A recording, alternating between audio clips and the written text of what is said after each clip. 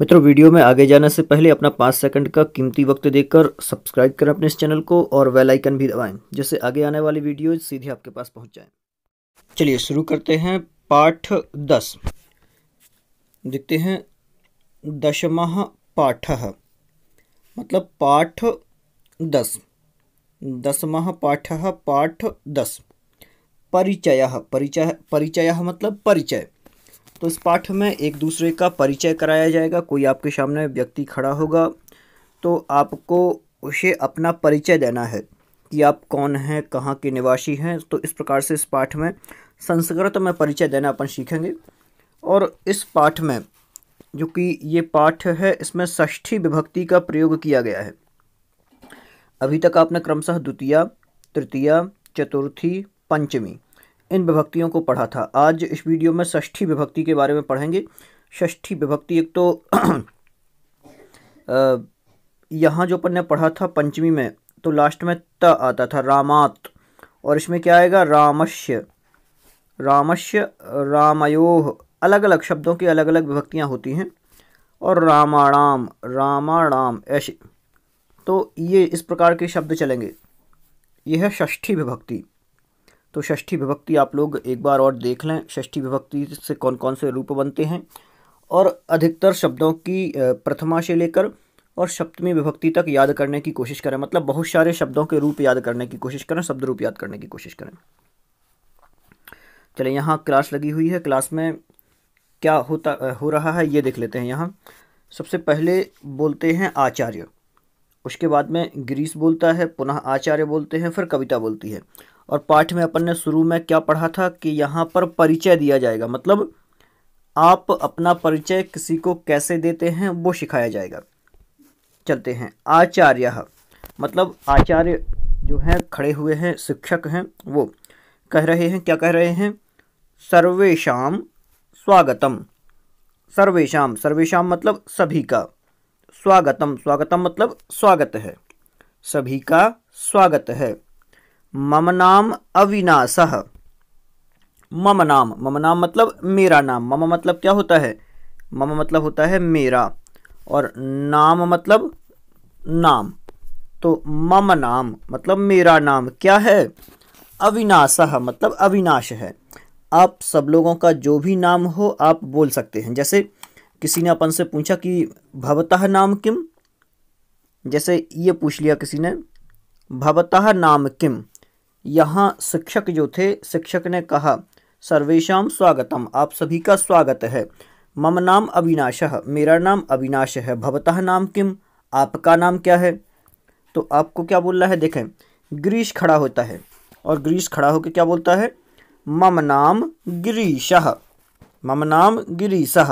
मतलब मेरा नाम गिरीश है। मम मतलब होता है मेरा और नाम मतलब होता है नाम। तो एक जो बच्चा खड़ा होता है, वो क्या बोलता है? मेरा नाम गिरीश है। गिरीश खड़ा होके बोलता है। अब आप लोगों से आप लोग अपने से लगा लें। यदि इसी प्रकार से आप लोगों से भी कोई प्रश्न पूछे और प्रश्न में पूछे कि भवतः नाम किम? आपका नाम क्या है? भवतः मतलब होता है आपका। किम मतलब होता है क्या। तो आपका नाम क्या है? तो आपको क्या बोलना है? मम नाम गिरीश या फिर मम नाम अविनाश, मम नाम पंकज, मम नाम अभिषेक, आपका जो नाम है, वो आप यहाँ लगा सकते हैं। तो आप संस्कृत में आज आपने यहाँ क्या सीखा? अपना नाम बताना। किसी को अपना नाम बताना है संस्कृत में, किसी ने आपसे पूछा, आपका नाम क्या है? तो आपने संस्कृत में बोल दिया, मम नाम ऐसा ऐसा डेड डैस मतलब मम नाम ये आ, आप अपना नाम ले सकते हैं यहाँ मम नाम के बाद में। आगे आचार्य आचार्य बोलते हैं पुनः भवत्याह नाम किम? अब किसी लड़की को खड़ा करते हैं भवत्याह दिया है ना तो भवत्याह जो शब्द है यह स्त्रीलिंग का है। स्त्रीलिंग में प्रयोग किया है आचार्य ने यहाँ भवतः शब्द जो था भवतः पुल्लिंग था तो किसी लड़के को खड़ा किया था। अब यहाँ कविता नाम की लड़की को खड़ा किया है तो बोला है देखें क्या बोला है? आचार्य भवत्याह नाम किम? आचार्य, आप आचार्य बोलते हैं कि भवत्याह नाम किम? एक लड़की को खड़ा करके खड़ा करके। अब वो लड़की क्या बोलती है? कविता क्या बोलती है? मम नाम कविता। यहाँ तो था लड़कों का तो लड़के क्या बोलेंगे? मम नाम, जो भी हो आपका वो नाम। और यहाँ लड़कियों से प्रश्न पूछा जाएगा कि भवत्याह नाम किम? तो कोई भी लड़की खड़े होकर बोल देगी, मम नाम जो भी आपका नाम हो, वो यहाँ नाम क्या है? कविता। आगे पुनः आचार्य बोलते हैं, आचार्य आचार्य बोलते हैं, गिरीश, तव परिवार से परिचय वद। गिरीश तब तब मतलब तुम अपने। परिवार से परिवार का परिचय परिचय, वद वद मतलब बोलो। क्या कह रहे हैं आचार्य? गिरीश तुम अपने परिवार का परिचय बोलो या अपने परिवार का परिचय बताओ। आचार्य कह रहे हैं। अब गिरीश बोलता है, मम जनन्याह नाम अंजना। मम मतलब मेरी, जनन्याह मतलब माता का। नाम मतलब नाम, अंजना मतलब अंजना।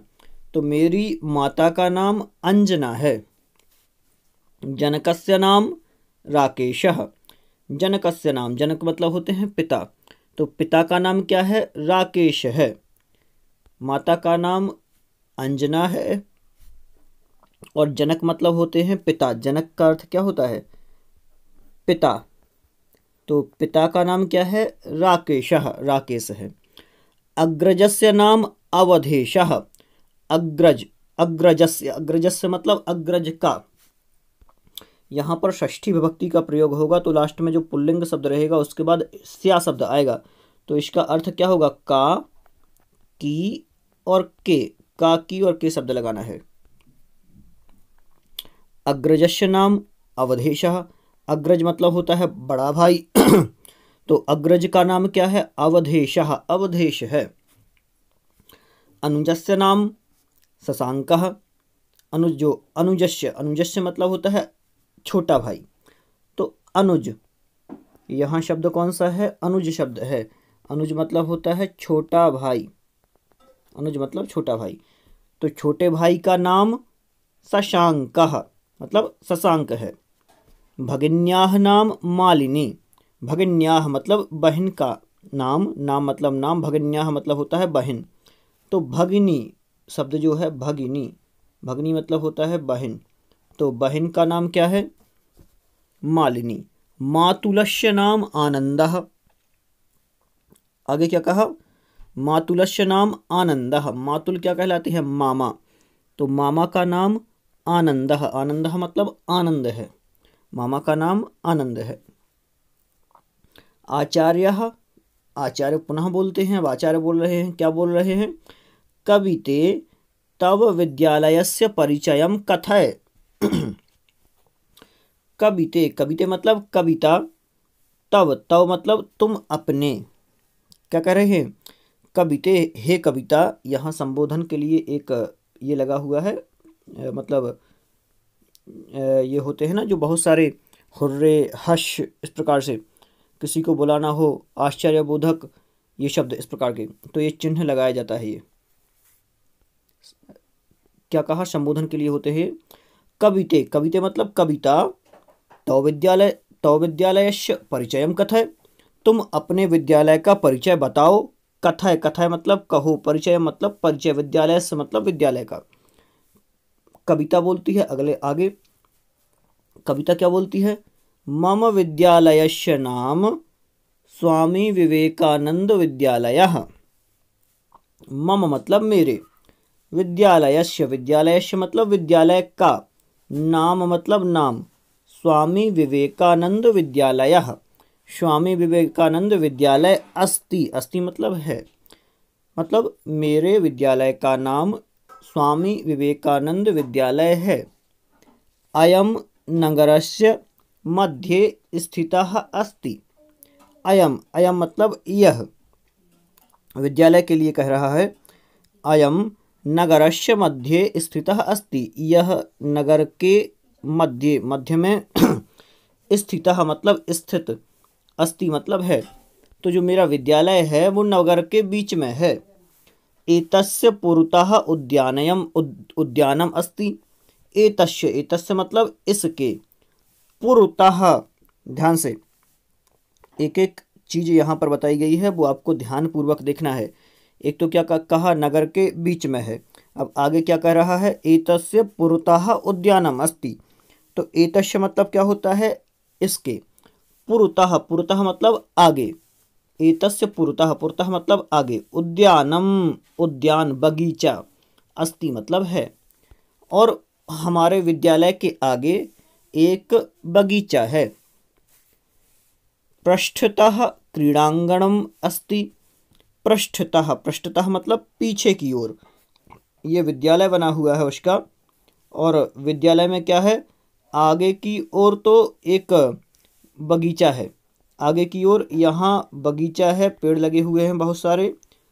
और पीछे क्या है? क्रीड़ांगनम। क्रीड़ांगनम मतलब खेल का मैदान है। यहाँ ये स्टंप गड़े हुए हैं पूरे। और ये खेल का मैदान यहाँ बना हुआ है। ये खेल का मैदान है। यहाँ बच्चे खेल रहे हैं ये वाला। तो इस प्रकार से, ये आगे का भाग है और ये पीछे का भाग है। आगे चलते हैं। क्रीड़ांगणस्य वामतः मंद्रेस्तः। अब क्या कह दिया? क्रीड़ांगणस्य मतलब क्रीड़ांगण मतलब होता है खेल का मैदान। तो खेल के मैदान के बामतः बामतः मतलब बाई ओर। मंदिरे मंदिरेशतः अब देखें। यहाँ मंदिरे शब्द दे दिया। तो मंदिरे में मतलब दो मंदिर होंगे। तो क्या कहेंगे? क्रीड़ांगण से बामतः मतलब क्रीड़ांगण के खेल के मैदान के बाई ओर मंदिरेस्तः मंदिर हैं। दक्षिणतः भवनानी, दक्षिणतः एक होता है बामतः एक होता है दक्षिणतः। बायां हाथ और दायां हाथ होता है जैसे उल्टा और सीधा। तो दक्षिणतः दक्षिणतः मतलब दक्षिण की ओर। भवनानी। भवनानी मतलब भवन। एक भवन होता तो केवल भवन शब्द लिखते, लेकिन भवनानी दिया है तो बहुत सारे भवन हैं। संति मतलब हैं। दक्षिणतः भवनानी, संति। आगे क्या कहा? आचार्य आचार्य बोलते हैं। गिरीश षष्ठ वर्गस्य संस्कृत पुस्तकम आनय। आचार्य बोलते हैं, गिरीश षष्ठ वर्ग से कक्षा छठवीं की। वर्ग मतलब होता है वर्ग, जैसे क्लास, ये भी अपन समझ सकते हैं। तो क्या कहा? छठवीं वर्ग मतलब कक्षा। छठवीं कक्षा की संस्कृत मतलब संस्कृत की पुस्तकम, पुस्तक, या बुक भी बोल सकते हैं पुस्तक। आनय आनय मतलब लाओ। ग्रीस संस्कृत कक्षा की, जो कि छठवीं क्लास की पुस्तक लाओ। संस्कृत भाषाया पदानि मधुराणि सन्ति। संस्कृत भाषाया मतलब संस्कृत भाषा के। भाषाया शब्द दिया है। तो यहाँ पूरा मैंने पहले भी आपको बताया था कि शब्द जगह षष्ठी विभक्ति का प्रयोग आपको अधिकतर देखने को मिलेगा, क्योंकि यहाँ षष्ठी विभक्ति का सिखाया गया है। संस्कृत यहाँ थे अपन, कहाँ थे? संस्कृत भाषाया पदानी मधुराणी संति संस्कृत भाषा के पदानी पदानी मतलब पद, मधुराणी मधुराणी मतलब मधुर, संति मतलब हैं। संस्कृत भाषा के पद बहुत मधुर हैं। ईशा, वेदानाम उपनिषदा उपनिषदाम, शास्त्राणाम च भाषा अस्ति। ऐशा ऐशा मतलब यह। ऐशा क्यों दिया? क्योंकि स्त्रीलिंग है ना संस्कृत। संस्कृत एक भाषा है, स्त्रीलिंग शब्द है। तो क्या कहेंगे? ईशा वेदा नाम वेदों की, उपनिषदाम उपनिषदों की, शास्त्राणाम शास्त्रों की, च और भाषा भाषा अस्ति मतलब है। अब इसको पूरा देखेंगे, पूरा क्या बोलेंगे? तो यह वेदों की, उपनिषदों की और शास्त्रों की भाषा है। रामायण महाभारतो कथा संस्कृते लिखिता अस्ति।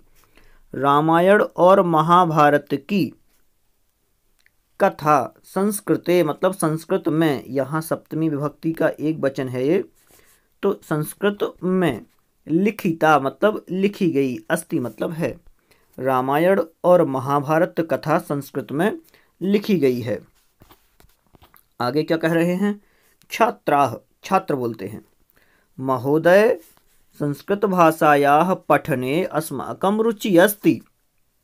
महोदय आचार्य जी शिक्षक महोदय, सर जी, ऐसा भी बोल सकते हैं। तो महोदय संस्कृत भाषा भाषाया संस्कृत भाषा में तो या फिर संस्कृत भाषा के, याह दिया है ना तो षष्ठी विभक्ति आएगी। तो काकी के संस्कृत भाषा को पठने, पढ़ने में अस्माकम हमारी रुचि ही रुचि अस्ति मतलब है। महोदय, संस्कृत भाषा को पढ़ने में हमारी रुचि है। वयम एतस्याह अध्ययनम इक्षामह वयम शब्द यहाँ पर दिया हुआ है तो इक्षामह प्रयोग किया जाएगा। वयम मतलब होता है हम सब। हम सब। एतस्याह एतस्याह मतलब इस। तो तस्याह कश्याह संस्कृतश्याह मतलब संस्कृत भाषा के अध्ययनम इच्छामह मतलब हम सब लोग संस्कृत भाषा को पढ़ने की इच्छा रखते हैं। आचार्य आचार्य बोलते हैं, आम सर्वेशा शिष्याणाम इच्छानुसारम संस्कृतम पाठयामी। क्या कह रहे हैं आचार्य? सर्वेशम आम आम मतलब होता है हाँ। सर्वेशम सर्वेशम मतलब सभी शिष्याणाम शिष्याणाम मतलब शिष्यों की इच्छानुसारम इच्छा के अनुसार, इच्छा धन अनुसार शब्द निकलेंगे यहाँ। दो शब्द होंगे ना, एक पहला शब्द क्या होगा? इच्छा होगा। और दूसरा शब्द जो रहेगा, वो अनुसार रहेगा। तो इच्छानुसार, संस्कृतम संस्कृतम मतलब संस्कृत, पाठयामी पाठयामी मतलब पढ़ाऊँगा। तो क्या कह रहे हैं यहाँ पर? या पढ़ाता हूँ, पाठयामी मतलब पढ़ाता हूँ। तो आम सर्वेशा शिष्या शिष्याणाम इच्छानुसारम संस्कृतम पाठयामी। हाँ सभी छात्रों की इच्छा के अनुसार पाठ पढ़ाऊँगा, संस्कृत का पाठ पढ़ाऊँगा। आगे एक श्लोक दिया है। ताराणाम भूषणम चंद्र नारीणाम भूषणम पति, पृथिव्या, पृथ्वी, ध्यान से पृथिव्या भूषणम राजा, विद्या सर्वस्व भूषणम। कैसे पढ़ेंगे इसको? ताराणाम भूषणम चंद्र नारीणाम भूषणम पति पृथिव्या भूषणम राजा, विद्या सर्वस्व भूषणम। ऐसा पढ़ना है इसको। ताराणाम भूषणम चंद्र। ताराणाम ताराणाम मतलब राम है, बहुत सारे तारे हैं मतलब। तो तारों का, यहाँ पर का की के आएगा क्योंकि राम लिखा हुआ है ना तो षष्ठी विभक्ति का प्रयोग किया जाएगा। तो क्या कहेंगे? ताराणाम भूषणम चंद्र। भूषणम मतलब आभूषण, चंद्र मतलब चंद्र। तो तारों का आभूषण चंद्र है। स्त्रीणाम आभूषणम पति। स्त्रीणाम मतलब स्त्रियों का। भूषणम मतलब आभूषण पति मतलब पति। स्त्रियों का आभूषण पति है। पृथिव्या भूषणम राजा। पृथिव्या मतलब पृथ्वी का। भूषणम मतलब आभूषण। राजा मतलब राजा। और विद्या सर्वस्व भूषणम जो विद्या है, वह सभी का आभूषण है। विद्या, अभी अपन ने इसके पहले विद्यारूपी धन के बारे में भी पढ़ा था। और यहाँ इस श्लोक में अपन ने विद्यारूपी आभूषण के बारे में भी पढ़ लिया। मतलब विद्या संसार में सबसे श्रेष्ठ वस्तु है। जितना भी आप लोगों को समय मिले, जब भी समय मिले और जहाँ कुछ सीखने को मिले तो आप लोग वहाँ सीखा करें, क्योंकि विद्या अर्जन बहुत आवश्यक है और यह यहाँ ही नहीं, आप कहीं भी जाएँगे, वहाँ आपको काम में आएगी। कई लोग आपसे पूछेंगे कि आपने कहाँ तक पढ़ाई की है, और यदि आपने यहाँ तक पढ़ा है तो आपको क्या क्या आता है?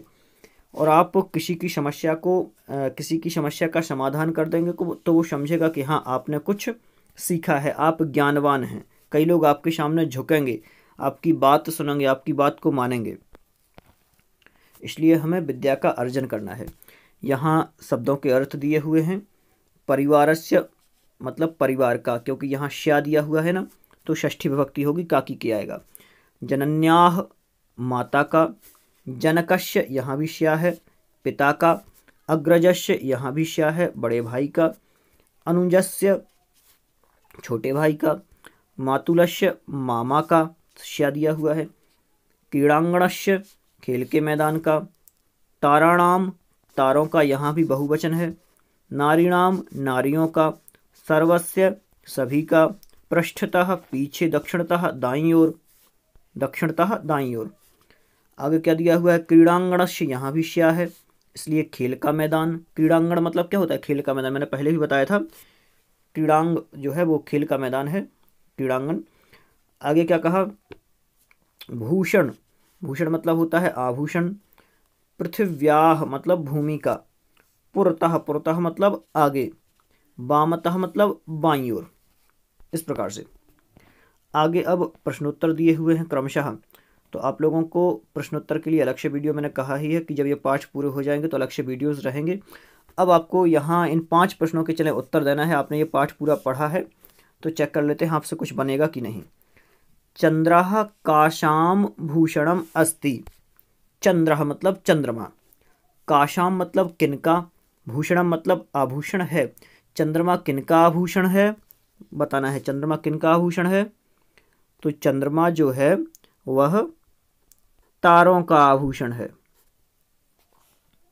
या चंद्र काशाम भूषणम पुनः एक बार देख लेते हैं। चंद्रमा किन का गहना है? तो चंद्रमा तारों का गहना है। आगे। संस्कृत पठने केशाम केशाम रुचि ही अस्ति। संस्कृत को पढ़ने की किन की रुचि है? तो बच्चे सारे बोलते हैं ना कि हमारी रुचि है। तो संस्कृत को पढ़ने की छात्रों की रुचि है। अवधेश कस्य अग्रज अस्ति? अवधेश जो है वो किसका अग्रज है? किसका बड़ा भाई है? अवधेश। तो ग्रीस का बड़ा भाई है। आगे क्या कहा? विद्यालय से पुरतः किम? विद्यालय के पुरतः पुरतः मतलब होता है सामने। विद्यालय के सामने क्या है? बताना है आप लोगों को। और दो चीज़ें थी ना, विद्यालय के सामने भी कुछ था और पीछे भी कुछ था। तो विद्यालय के सामने तो क्या था? बगीचा था, उद्यानम। देखें, और एक चीज़ और यहाँ पर लिखी हुई है। कस्य पुरतः उद्यानमस्ति। पहले प्रश्न ध्यान से देख लेते हैं एक बार। कस्य पुरतः उद्यानम उद्यानमस्ति। किसके पीछे उद्यान है? तो उद्यान किसके पीछे था? विद्यालय के पीछे था तो उत्तर में विद्यालय आएगा। भवत्यः नाम किम? भवत्यः नाम किम? पूछा था कि आपका नाम क्या है? या भवतः या भवत्यः? तो स्त्रीलिंग में है, स्त्रीलिंग में है तो बताना है, पुल्लिंग में है तो बताना है। मेरा नाम ये ये है, जो भी हो आपका नाम। अब आगे षष्ठी विभक्ति योज योजयित्वा रिक्त स्थानम पूरी तो षष्ठी विभक्ति प्रयोग करके इन सबके रिक्त स्थानों की पूर्ति करना है। आगे क्रमशः ये सारे के सारे प्रश्नोत्तर अपन आगे करने की कोशिश करेंगे। जब तक के लिए आप लोग इस पाठ को एक बार और पढ़ लें, जिससे आपका अध्ययन और बढ़िया हो जाए।